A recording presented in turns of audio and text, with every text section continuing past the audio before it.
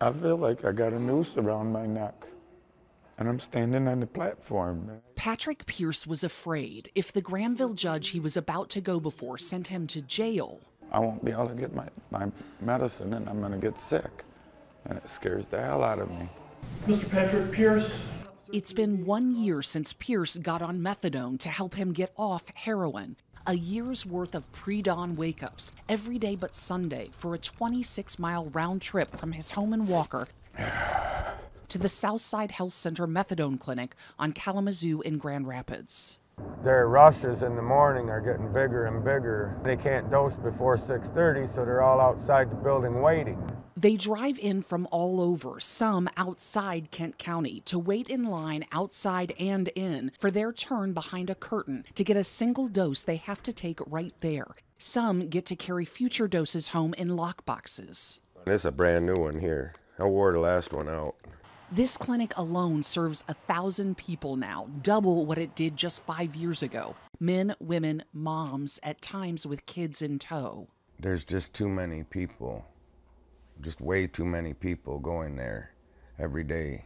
But Patrick Pierce is grateful too. The methadone has kept him off heroin, eased painful withdrawal and cravings, helping to heal brain circuitry hijacked by addiction. Even so, Pierce is anxious to taper off. There's people that tell me they're doing it seven, eight years. It's driving me nuts. I want to get off the crap.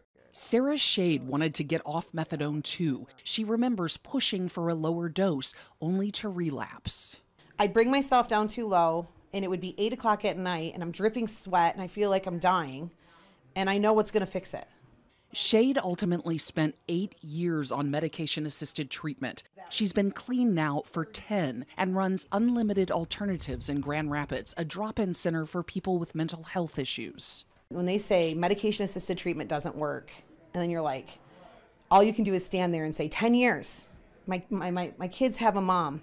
I have a job. I help people every single day. It takes time to help a person recover from a substance use disorder. Mike Reagan is with Cherry Health, the nonprofit that runs two of West Michigan's six methadone clinics. Overall, it saves lives. To methadone's critics, who say the opioid itself is too easily abused and promotes a drug culture, and I just don't think they know enough about its effectiveness. And we also manage the risks that are there.